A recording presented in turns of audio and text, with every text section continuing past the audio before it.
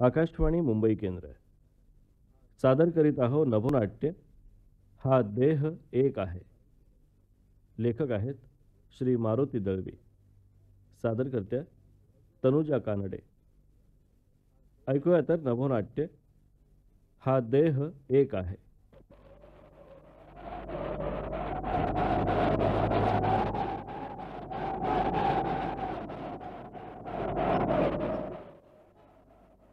बाबूजी?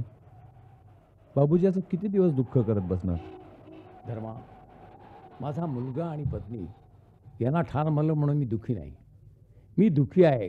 की स्वतःच्याच दाताने स्वतःची जीभ तुटते म्हणून. बघ स्वातंत्र्याची तुतारी कशी घुमत जात आहे. खरंच आहे बाबूजी.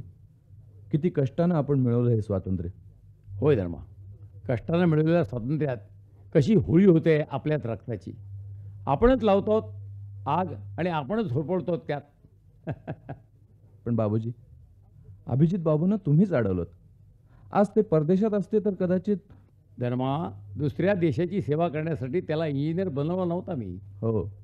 आणि आपल्याच देशाची सेवा करत असताना आपल्याच देशात मोठं बक्षीस मिळालं ना? धर्मा. खरंच बाबूजी आज ते दुसऱ्या देशात असते तर तुमचा वंश तरी शाबूत राहिला असता. कोण म्हणतं माझा भाऊ शाबूत नाही म्हणून?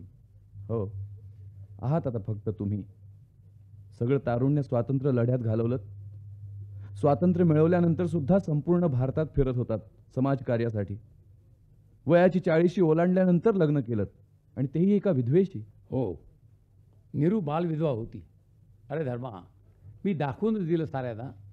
आज न घाबरता विधवा विवाह करू शकतात. निरूपानं मला त्यावेळी साथ दिली आणि मीही ब्रह्मचर्य सोडलं ते केवळ समाज कल्याणासाठी. हो. सगळं केलं त्या देशासाठी. पण त्या देशानं प्रामाणिकपणे तुम्हाला काय दिलं? काय दिलं? पांढऱ्या कपड्यात गुंडाळलेली दोन प्रेतं. एक पत्नीचं दुसरं मुलाचं. या देशाचा काय दोष? म्हणजे? देशाच्या एकतेसाठी देह ठेवला त्यांनी. त्यापेक्षा श्रेष्ठ देशसेवा ती कोणती? आणि आम्ही अजूनही जगत आहोत. केवळ देशाचं धान्य विनाकारण संपवण्यासाठी. धर्मा अरे हे बघ ते फोटो. यांच्या फोटोचे चेहऱ्यावर काय तेज आहे ते. युअर ग्रेट पॅट्रियट्स नाहीतर आम्ही आहोत अजून.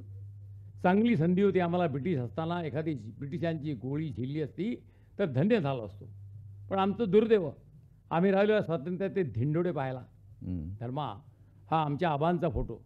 हे साऱ्या भारताचे आबा आहेत? आबासाहेब अभ्यंकर नाही कॅप्टन आबासाहेब अभ्यंकर. नेताजींच्या आझाद हिंद सेनेत. हौतात्म्य पत्करला आहे त्यांनी. तुला माहिती आहे? काय? यांचं कुटुंब म्हणजे अखंड भारत देश होता. गुलामीतून मुक्तता करायची होती त्यांना त्यांच्या कुटुंबियांची त्यासाठीच तर ते अमर झाले. आणि आपण मेलेलं जीवन जगत आहोत. या स्वातंत्र्यात आबासाहेब तुमचा नातू तुमची सून गौरवाने भेटते असतील तुम्हाला. तुम्ही स्वातंत्र्यासाठी बलिदान केलं. पण आता वीट आला या स्वातंत्र्याचा. बाबूजी? सारे वेगळे होऊ पाहत आहेत. देशाचे तुकडे करू पाहत आहेत यासाठीच का तुम्ही ब्रिटिशांना हाकलून दिलं तिथून आबा तुमच्या स्वातंत्र्यात तुमचे निर्भरात देशभक्त बळी पडत आहेत. अगदी खरं आहे बाबूजी. काय रे धर्मा. निजामुद्दीन रेल्वे स्टेशनात झालेल्या बॉम्बस्फोटात तुझाही मुलगा गेलास ना? होय बाबूजी. पण पण मला चार मुलं आहेत. त्यातला एक गेला. तुमचा तर एकुलता एकच अरे कोण म्हणतं मला? एकटाच मुलगा होता. म्हणजे? धर्मा अरे मेला तो माझाच मुलगा आणि ज्यानं त्याचा प्राण घेतला तोही माझाच मुलगा होता. काय? बाबूजी त्या निर्दयी खुन्यांना तुम्ही आपली मुलं मानता? होय धर्मा. अरे त्यांना भडकवलं जाते परकीय सत्तेकडून. स्वतःच्या देशाचे तुकडे पाडायला शिकवलं जात आहे अरे हे अवयव तोडले धड वेगळे केलं तर जगेल का कोणी? ईश्वरा आज स्वतःच्याच देशात स्वतः तेच खून पाडतायत सारे. बाबूजी बाबूजी. क्या हो गया? बाबूजी बाहर एक आदमी बेहोश गिरा हुआ है बाबूजी। धर्मा. बघ बाबा त्याला। हो। अरे असेल कोणीतरी असाच स्वतःच्या देशात स्वतःच्याच भावाकडून मारला गेलेला. जा जा घेऊन ये त्याला. जातो बाबूजी. हां हां. सावकाश सावकाश आणा त्याला.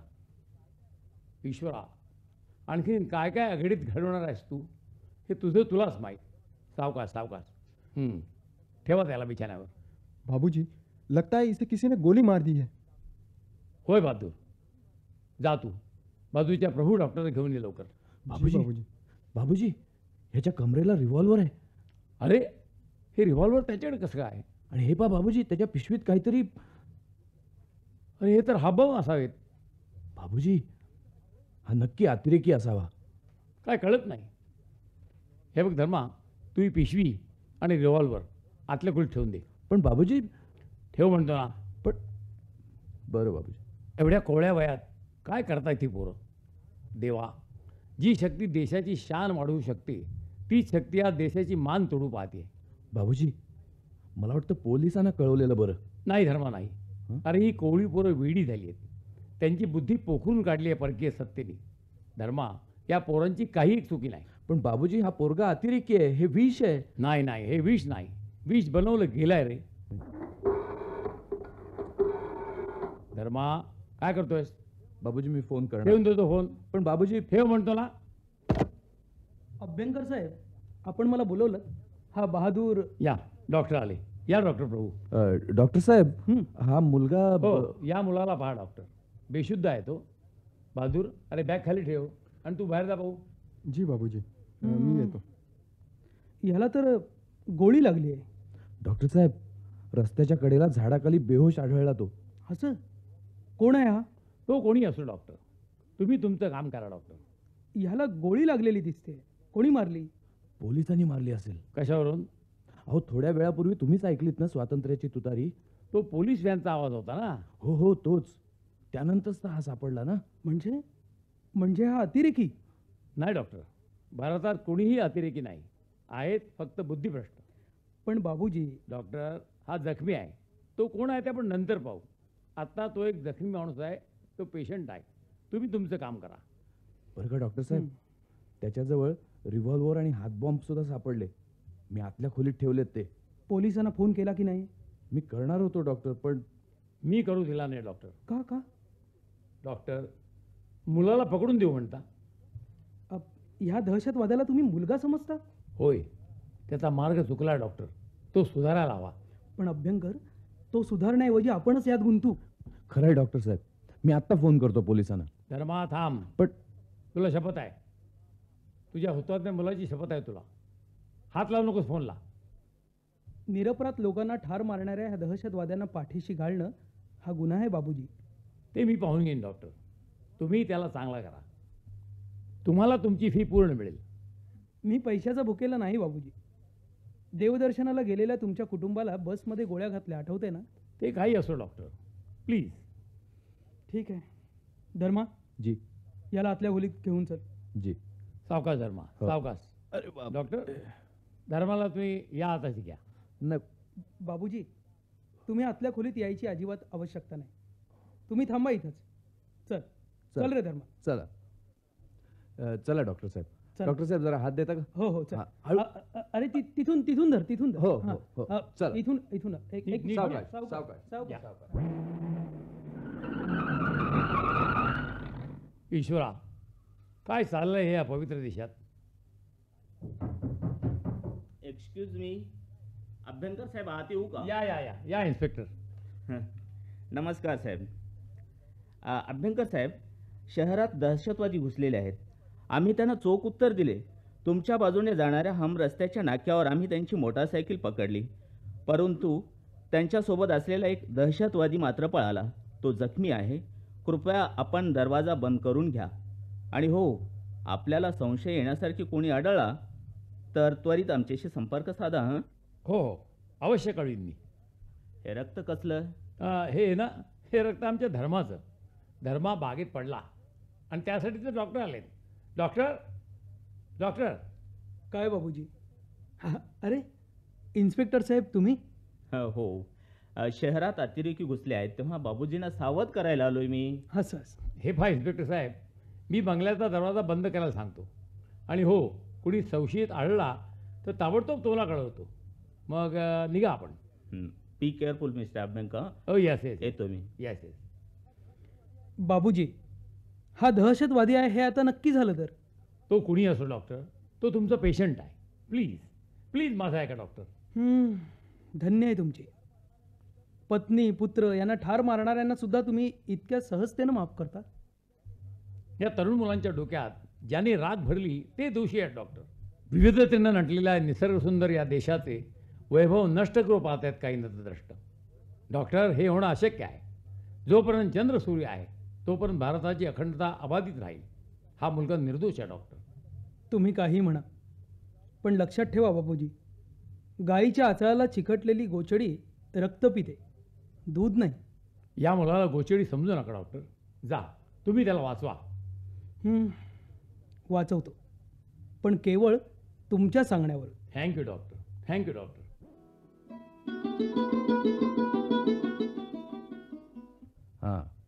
आता तुम्ही आराम करा. नाही मला गेलं पाहिजे. आता कुठे जाणार आता तिथून? कुठेही जाईन. पण मला हे समजत नाही तुम्ही मला औषधोपचार का केलेत? बाबूजींच्या सांगण्यावरून. कोण बाबूजी? या घराचे मालक? नाव काय त्यांचं? बाबासाहेब अभ्यंकर आहेत कुठं ते? अहो तुमचीच काही औषधं आणण्यासाठी गेले आहेत. थँक्यू फार उपकार झाले माझ्यावर. हा हा फोटो कुणाचा? हा अ, बाबूजींच्या मुलाचा. त्याला हार? हो. ती एक फार वाईट गोष्ट झाली. बाबूजींचा एकुलता एकच मुलगा. काही ॲक्सिडेंट कसला हो ॲक्सिडेंट हरिद्वारला दर्शनाला गेले होते. हं. आई आणि मुलगा. हां. अतिरेक्यांनी माणसांनी भरलेली बस नदीकाठी नेली आणि बेछूट गोळ्या झाडल्या त्या उतारूंवर. त्या बसमध्येच बाबूजींची बायको आणि मुलगा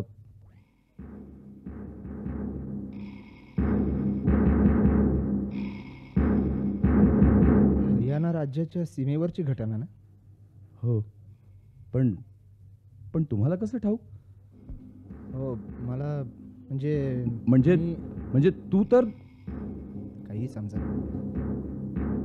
माझं माझं रिव्हॉल्वर कुठे? म्हणजे त्या हत्याकांडात तू सहभागी होतास तर? माझं रिव्हॉल्वर दे.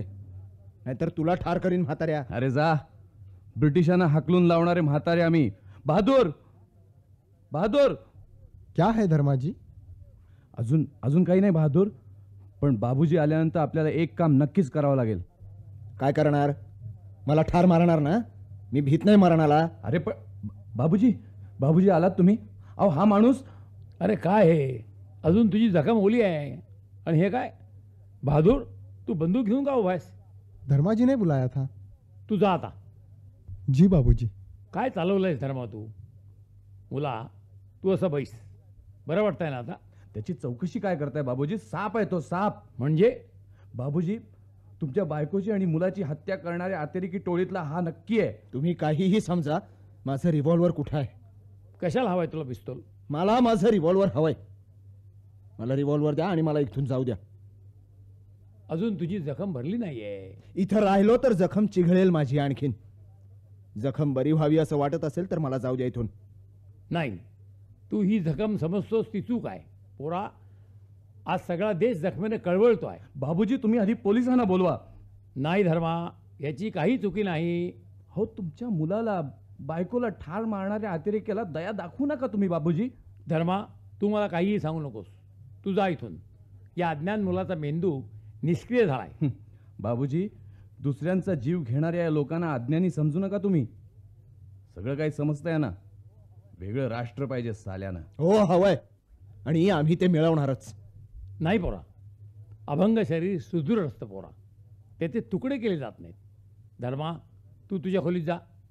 तुम्ही म्हणताय म्हणून जातो बाबूजी. पण लक्षात ठेवा निवडुंगाला पाणी घालून गोड फळं येणार नाहीत. त्याचे काटे मात्र वाढतील आणि टोचतील आपल्याच अंगाला. निवडुंग नाही आहे तो. चांगलं फुलझाड आहे. निवडुंग बनवलं गेलं आहे त्याला. पोरा तू पडून राहा. हे बघ या गोळ्या जखम भरण्यासाठी आहेत. घे त्या गोळ्या. तू बरा झालास मग तू कुठेही जा. मला गोळ्या नको आहेत माझं रिव्हॉल्वर हवंय.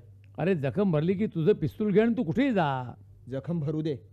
म्हणजे पोलीस येऊ देत. आणि मला पकडून घेऊन जाऊ दे. मला पकडून देऊन बक्षीस मिळेल तुम्हाला. शिवाय पत्नी आणि मुलगा यांच्या आत्म्याला शांती सुद्धा लाभेल ना? अरे नाही पोरा नाही. होय. मला पकडून द्यायचाच विचार आहे तुमचा. पोरा माझ्या मुलाची शपथ मी तुला पकडून देणार नाही. तुझी जखम बरी झाली की जा तू आपल्या घरी. माझ्या घरी? कुठं आहे माझं घर? सारा भारत देश तुझं घर आहे मुला. नाही. भारत देश माझा नाही. माझा देश आहे. नाही बोला अरे ज्या देशासाठी ब्रिटिशांना आपण रक्ताची किंमत दिली तो पवित्र देश भारत देश. अरे अरे अरे. बघ ही जखम दोन दिवसात भरेल. घे या गोळ्या घे. आणि झोप आता. नाही मला जायचं इथून. इथून गेलास तर तुला पकडतील. तुझ्यातील गैरसमज दूर करण्याचा प्रयत्न करणार नाहीत. उलट ते तुला तुरुंगात टाकतील तुला पकडूनच द्यायचा होता तर काल रात्रीच तुला पकडून दिला असताना. काल पोलीस आले होते इथे. शोधत तुला शोधत आले होते. काय सांगितलं त्यांना? इथे कोणी अतिरेकी नाही. थँक्यू मुला नाव काय तुझं? गुरुमीत. कोणता जिल्हा? तुम्हाला काय करायची एवढी उठा ठेव मुला खरं आहे तुझं. काय करायची एवढी उठाठेव? रक्ताचं नातं जोडलं गेलं रे पंजाबशी. तुझ्यासारखा तरणा बाण माझा मित्र होता. पंजाबचा? हो हो हो. पंजाबचा. लाहोरच्या पोलीस छावणीत खुल्या छातीनं आम्ही तिरंगा फडकवला. त्यावेळी माझ्या अंगावर गोळी झाडली गेली. पण ती झेलली माझ्या जिवलग परमजीतनी. परमजीत धिल्लो तर नाही? हो परमजीत धिल्ला सुदृढ बांध्याचा माझा मित्र. त्यावेळी परमजीत शहीद झाला. जर ती ब्रिटिशांची गोळी मला लागली असती तर स्वातंत्र्याच्या नरक येताना भोगायला लागल्या नसत्या. बाबूजी परमजीत धिल्लो तुमचे मित्र होते? अरे आम्ही सख्या भावासारखे होतो. परमजीतला नेहमी त्याच्या मुलाची आठवण यायची. एकदा मी त्याच्या मोठ्या मुलाला भेटायला गेलो होतो दिल्लीला. त्याचा तो मोठा मुलगा. काय बरं त्याचं? रणबीर. तुला कसं ठाऊक आहे? बाबूजी रणबीर माझे वडील आणि परमजीत माझे आजोबा. पोरा अरे माझ्या परमजीतचा नातू तू. हो. स्वातंत्र्यासाठी प्रपंच सोडून ब्रिटिशांची गोळी झेलणाऱ्या परमजीतचा वंश हातात पिस्तूल घेऊन शहीद परमजीतच्या स्वप्नाची धुळवड करतोयस? नाही. नाही बाबूजी. बाबूजी देशाची शकलो होऊ नयेत असं मलाही वाटत होतं. वाटत होतं. पण प्राईम मिनिस्टरच्या हत्येनंतर घरातून खेचून फक्त शिखाना मारलं गेलं. का? का मारलं? अरे अंध अंध झाले होते त्यावेळी सारे अंध झाले होते म्हणता. तेव्हा फक्त शिखच मारले गेले. तुमच्या परमजीतचा मुलगा? रणबीर. हो. कुठे असतो तो? असतो ना. तुमच्या मुलाच्या आणि बायकोच्या सोबत. म्हणजे?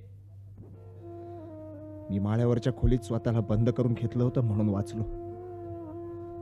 माझ्या आईला छोट्या भावाला खेचत नेलं त्या राक्षसानी. माझे वडील पाया पडून सांगत होते त्यांना अरे आम्ही आम्ही दुसरं राष्ट्र मागणारे नाही आहोत आम्ही भारतीय आहोत. शेवटी दिनवाणेपणाने माझे वडील म्हणाले मी एका स्वातंत्र्य सैनिकाचा मुलगा आहे. या देशासाठी माझे वडील हुतात्मा झालेत. जगू द्या आम्हाला. पण नाही. काय झालं? सगळ्यांच्या अंगावर पेट्रोल ओतून त्यांना जाळून टाकलं. मी पाहत होतो माळ्यावरच्या खाचेतून. असहाय्य होतो मी ज्यावेळी सगळं शांत झालं तेव्हा खाली येऊन बघितलं तर स्वातंत्र्य जळून त्याची राख राहिली होती माझ्यासाठी. आणि तेव्हापासून मी निश्चय केला आहे ज्या स्वातंत्र्यासाठी माझे आजोबा हुतात्मा झाले त्या स्वातंत्र्याला गाडून टाकीन. नाही नाही नाही पोरा नाही. आणि म्हणूनच मी सामील झालोय त्यांच्या दलात. हे बघा जोपर्यंत आम्हाला आमचं वेगळं राष्ट्र मिळत नाही तोपर्यंत असंच हत्याकांड चालू राहील. तुझे विचार क्षुद्र झालेत पोरा. तुमच्या मते माझे विचार क्षुद्र असतीलही. पण माझ्या आई वडिलांना एका स्वातंत्र्य सैनिकाच्या कुटुंबियांना जिवंत जाळणारे क्षुद्र विचारांचे नव्हते. त्यांना सारं काही समजत होतं. त्यांनी माझ्या कुटुंबियांना जाळलं ते शीख म्हणून. पोरा कधी कधी माणूस पशु बनतो. त्यावेळी सारे पशु झाले होते. तू फार मोठा भाग्यवान आहेस. आजोबांनी परकीयांची गोळी झेलली. तर त्याच्या कुटुंबाची स्वकीयांनी स्वराज्यात होळी केली. पोरा तुझं कुटुंब मेलं नाही. देशाच्या एकतेसाठी बळी गेलेले पुण्यवान हुतात्मा झालेत. हुतात्मा बलिदान मृत्यूविषयी अभिमान वाटणारे फसवे शब्द.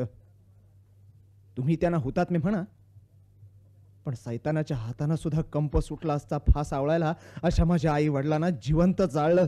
त्यांची निष्ठुर हत्या केली. पोरा दाताने जीभ तोडली तर कोणाला शिक्षा द्यायची? नदी किती शांत असते. कधीकधी रौद्र स्वरूप धारण करते आणि भयान पुरामुळे तीरावरली माणसं घरं वाहून नेते. लाखांची हानी होते. म्हणून नदीला कोणी दोष देतं का? अशा प्रसंगीच माणसाची खरी कसोटी असते. पोरा अशा वेळी माणसातला माणूस जिवंत राहायला हवा. तो जर मेला तर तुकडे पडतात. लसके तुटतात ते मानवतेचे. त्याची झळ मला तुझ्या अगोदर लागली आहे पोरा. माहिती आहे मला. तुमचा मुलगा पत्नी दोघंही मारले गेलेत. त्याचं दुःख मी करत नाही. ते दुःख ताजं आहे. पण स्वातंत्र्य मिळाल्याच्या आनंदात बेहोश होतो. आणि असाच प्रकार असाच प्रकार घडला बघ. कोणता प्रकार घडला? ज्या देहानं उघड्या छातीनं आयुष्याचा मार्ग अवलंबला ज्या देहाला पाहून कठोर हृदयाच्या ब्रिटिशांच्या हातातील संगीने गळून पडल्या त्या महात्माजींची हत्या झाली पोरा. एका माथेपिरूच्या गोळीला महात्माजी बळी पडले. आणि त्याची प्रतिक्रिया काय झाली ठाऊक आहे काय झाली? शांतता अहिंसेच्या मार्गानं इंग्रजांना पळवणाऱ्या गांधीजींची माणसं पशु बनली. जाळत सुटली घरं ब्राह्मणांची. माझ्या मामाचा चिरेबंदी वाडा होता. त्याच वाड्यात मी लहानाचा मोठा झालो होतो. खूप प्रेम होतं माझं त्या वाड्यावर. अहिंसेचे रक्षक हिंसा करत सुटली होती. आग लावली त्यांनी वाड्याला. पेटवून राख केली त्याची. मामा आणि मामी जिवंत होळपळून गेली त्या वाड्यात. आहे गुरु मामा मामी हुतात्मा झाले. मलाही प्रथम तुझ्यासारखाच वीट आला होता स्वातंत्र्याचा. पण मी वेळीच सावरलो गेलो. मला आज अभिमान वाटतोय माझ्या मामा मामींचा. तो आघात तुम्ही सहज सहन केलात बाबूजी? हो. त्यावेळी असंख्य घरं जाळली होती. बऱ्याच जणांची हत्या झाली होती. आम्ही देशभर हिरलो. त्यांच्यासाठी मदत निधी गोळा केला? पण मदत निधी काढून सहानुभूती दाखवून ती गेलेली माणसं थोडीच परत येणार आहेत. अरे जो जन्माला आला तो मरणारच. पण देशासाठी मरणाऱ्यांच्या पवित्रतेमुळे देश जिवंत राहतो. जे देशासाठी मरतात ते हुतात्मा होतात. स्वातंत्र्याच्या इमारतीच्या पायासाठी अनेकांनी आपले देह दिले. इमारत उभी राहिली. आता ही इमारत अभेद्य राहण्यासाठी अजून असंख्यांना बलिदान करावं लागेल. पोरा त्यासाठी आपल्याच अवयवांना छाटण्याचा मार्ग योग्य नाही. उलट हे अवयव मजबूत करणं हे आजचं काम आहे. हो पण पण बाबूजी तुझ्यासारखे असंख्य तरुण आज हेच करतायत. आपल्या देशाचा पूर्व इतिहास आठव पोरा. शहीद भगतसिंगांनी पार्लमेंटमध्ये बॉम्ब फेकला. तो भारतीयांना मारण्यासाठी नव्हे भारत मातेच्या हातात शृंखला बांधणाऱ्या इंग्रजांना पळवण्यासाठी. बेटा आपला देश पवित्र आहे. काश्मीरपासून कन्याकुमारीपर्यंत पाहिलंस तर तुला दिसेल मंदिर मस्जिद धम्मपीठ चर्च गुरुद्वार साऱ्यांच्या कळसाला एकतेची चमक आहे. बाबूजी. एकात्मतेचा प्रकाश आहे. ही अभेद्य राहिली पाहिजे. एकतेचे एकात्मतेचं रक्षण करणं हे आजच्या युवा पिढीचं कर्तव्य आहे. गुरमीत. गुरमीत. चल लवकर चल लवकर. आपण कोण? सरदार तुम्ही? हो. चल लवकर गुरमीत. हे कपडे घे. भिकाऱ्याच्या वेशात कुणीही ओळखणार नाही आपल्याला. नको बेटा नको बेटा तू जाऊ नकोस. गुरमीत. गुरमीत आपल्याला वेळ नाही आहे अरे ए म्हातारे ए ए जाग्यावरच उभा राहा. हल्लाच तर हे लोडेड रिव्हॉल्वर तुझ्यावर खाली करीन मी. नाही नाही सरदार. सरदार त्यांचे फार उपकार आहेत आपल्यावर. असतील रे. हे बघ गुरुमित या बंगल्याच्या रखवालदाराच्या नाकावर गुंगीचा रुमाल टाकून त्याला फेकून दिला मी झाडाखाली. कुठे फेकलाय बहादूरला? ए म्हाताऱ्या गुरुमितला वाचवलंच म्हणूनच केवळ अजून तू जिवंत आहेस. नाही नाही सरदार नाही. काय करणार आहेस तू? मारशीलच ना. हा मारेन म्हणजे काय? अरे मारेनच एकही पाऊल पुढे टाकूनच म्हाताऱ्या. बाबूजी, अरे, आपलं गोळी मुलाच्या खालेन. धमकावणीला बाप भीत नसतो. ए, बोरा मग बाबूजी. गोळी खा. ए! बाबूजी! ओ! सरदार. बेटा. काय केलंय सरदार? का मारलं त्यांना? हं, हे बघ हे बघ गुरुमेत तू पहिल्यांदा इथून चल. हे भिकाराचे कपडे घाल. हे रिव्हॉल्वर घे. चल नको लवकर. नको बेटा. घेऊ नको ते रिव्हॉल्वर हे बाबूजी.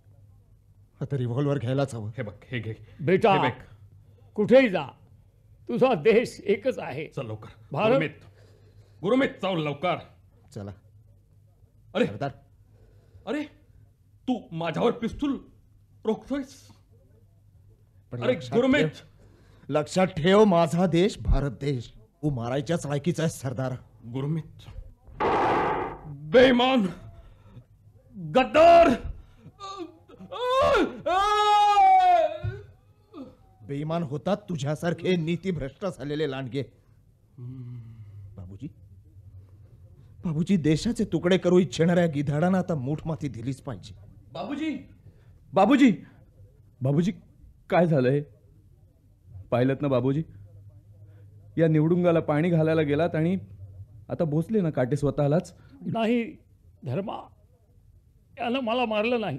मिस्टर अभ्यंकर? इन्स्पेक्टर साहेब तुम्ही? मिस्टर अभ्यंकर इकडे गोळी झाडल्याचा आवाज आला. अरे हे काय? मिस्टर अभ्यंकर हँड्स अप तो निरपराध आहे. इन्स्पेक्टर तो निरपराध आहे. त्यानं त्याचं कर्तव्य पार पाडलं. बेटा हा देश तुझा आहे. बाबूजी. विविधतेने नटलेल्या निसर्गसुंदर देशाला लागलेली अंतर्गत वाळवी नष्ट कर मुला बाबूजी. हा देह एक आहे. मुला हा देह एक आहे. अवयव तोडून चालत नाहीत.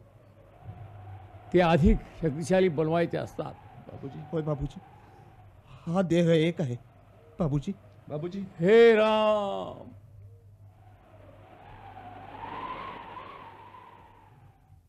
आत्ताच आपण मारुती दळवी लिखित हा देह एक आहे हे नभोनाट्य ऐकलत. यातील भूमिकेनुसार पात्र परिचय बाबूजी दत्ता मोने धर्मा विजय म्हैसकर गुरुमित राजीव गोविलकर इन्स्पेक्टर उत्तम भगत बहादूर नितीन सप्रे आणि सरदार महेश केळुसकर. निर्मिती सहाय्य जावेद खान सादरकर्त्या तनुजा कानडे. हा कार्यक्रम आकाशवाणीच्या मुंबई केंद्रावरून प्रसारित करण्यात आला.